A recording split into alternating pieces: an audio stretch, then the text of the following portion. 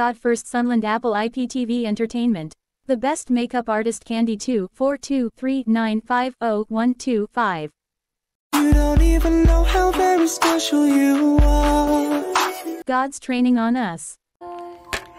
Hi, my babies. I keep hearing the lullaby. Twinkle, twinkle, little star, how I wonder what you are. And then I also keep hearing Tupac, all eyes on me. Okay. all eyes on me. Okay. From the time that you were born, this is the message I'm getting. From the time that you were born, you were God's star. You were twinkling, this twinkling star, shining so bright. Bright eyed and bushy tailed. That's what you are. And yet, you went through hell your whole entire life. Your whole life. And yet you didn't stop shining. You didn't give up. Because your eyes were on him the whole entire time. All eyes on me. Well, you know what? His eyes didn't stray from you just because you went through hell. Do you think that God wanted to see you cry day after day, night after night? Did you think that he wanted to hear you scream at him in your car to make things better? And when you sat there with a bottle of pills, this is for me. Do you think he wanted to see me do that? Do you think he wanted to see me sign divorce papers? No. But he did this so that we could shine as bright as we're shining right now. Do you understand? Everything that you've been through is for you to guide other people to Him. Everything that you've gone through in life is to make you shine even brighter. No matter how much it hurt, God was right there with you. Because all our eyes have been on Him. And through you, others are going to see God. And this is what this is all about.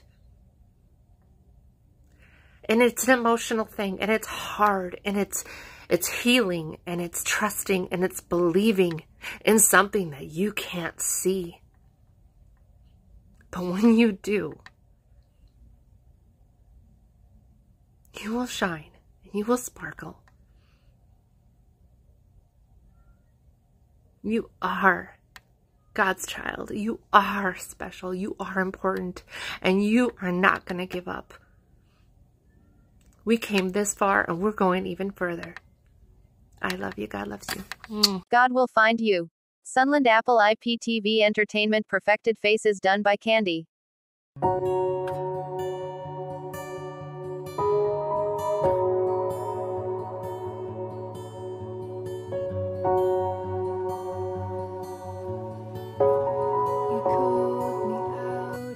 See, I didn't find God in the church. In fact, I didn't find God at all. He found me. He met me in a place where I was so broken I couldn't get up. And when you're loved like that, it will shock you. Whoever needs to hear this, listen now. God did not bring you this far to leave you. He did not bring you this far to. The scripture says that he that started a good work good work. He starts a good work. He's faithful to see it through till the end. The work that the Lord has started, has started in you is a good work. And he will surely see it through to the end. He said, he says, He makes all things work together for good for those that love love the Lord and are called according to his purpose. His purpose. You did not find God. Contrary to um, you know, to to the to the to the way it explained today that oh, I found God, I found God. You did not find God. God was not lost. You was. You was lost. God found you. And so if He finds you, He is big enough, strong, strong enough, and able enough to secure you and to keep you. You've got to believe that. In the book of Matthew, Matthew chapter 6, verse 44, it says, No one can come to me unless the Father who sent me draws him, and I will raise him up at the last day. Christ is saying that if the Father did not send you, if the Father did not um, send you to him, you will not be able to know him. So God found you. So you've got to believe that if he found you and he's brought you this far, then he's faithful enough. He's able enough. And he's more than willing to see you through to the very end because he does a good work. He doesn't he doesn't um, do unfinished business. No. The Lord finishes his work perfectly. The book of Ephesians 2 verses uh, 10 says that um, we are God's masterpiece. We are God's masterpiece. Listen to these words. Created in Christ Jesus to do good works, which God prepared for us a long time ago. So before you were even born, there was a preparation for you. You've got to believe that because it's true. Before you even says, before you were formed in your mother's womb, I knew you. I'd set you apart. Right? So there's a preparation for you, there's a plan for you, there's a purpose for you, there's a there's a path for you. And and you are a masterpiece that is going through to perfection. You will be perfected. You're going through a process that is going to take you to perfection. The Lord did not bring you this far to leave. God wants to be pursued.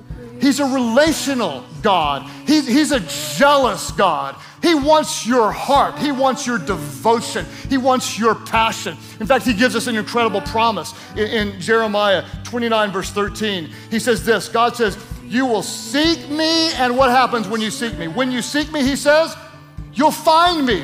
It's a promise. If you pursue God, he will reveal himself to you. You will seek me and find me. When you seek me with all your heart, God says, I will be found by you, declares the Lord. When you draw near to Him, when you pursue Him, when you crave Him, when you hunger for Him, God loves to be pursued and He loves to reveal Himself to you. To speak to people about a peg. So when you look at a peg, Sister Lerato, it has this silver spring in the center. Yes. A peg cannot function without the silver spring in the center. If I remove the silver spring in the center, it will be just two pieces of planks that mean nothing. Same Yeah. thing with your life. If I remove God at the center of your heart, you'll be a meaningless person. You wouldn't know your purpose. You wouldn't know your calling. You wouldn't know who you are. Number two, when you hang clothes on a line, why do you put a peg? You put a peg so that impahla zingawe zingangcoli. Same thing with your life. Why do you receive God in your life? You receive God so that you don't fall into depression, anger, anxiety, bitterness, uh, jealousy. That is why you need God in your life so that you can be who you are and know your identity and purpose. Number three, if I remove the clothes from the pegs, impahla zenzakala zizohole. So that is why it's very important to stick on unto the Lord. Number four, Apex does not discriminate, Sister Lerato. Lezi impahla oyigqokile. Doesn't matter whether you are rich, whether you are poor, whether you are filthy, whether you are dirty. A peg's job is to hold impahla. It does not matter who you are. A peg's gonna hold you. Isn't this is the same thing that God says? Come as you are. It doesn't matter how broken. It doesn't matter what happened in your life. God is saying that just come as you are. Right now, during this lockdown, there's somebody that's broken. It's saying that I have no future. There's no hope, Bungan. But I want to tell you, God is saying, come as you are. And the word fear, Sister Lerato, the word fear, this word, fear, it has two meanings for me, Sister Lerato. It says first meanings from the enemy, and people will say, forget everything and run away from the promises that God has for you. It's saying forget. But I want you to turn it around today.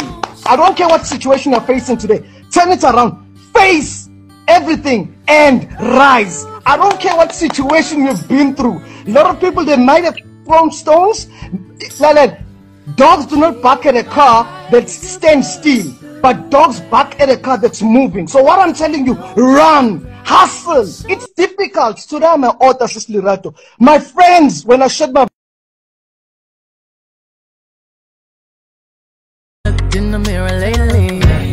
you could trade eyes with me. There's complexities complexities. complexion, but your skin is glow like diamonds. Dig me like the earth, you be giving birth to everything alive, baby, know your worth.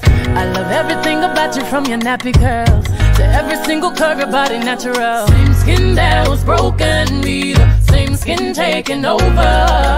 Most things out of focus view, but when you're in the room, they notice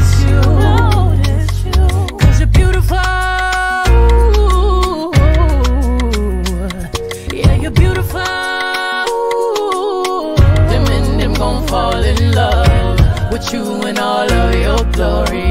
Your skin is not only dark, it shines and it tells your story. Keep dancing, they can't control you. They watching, they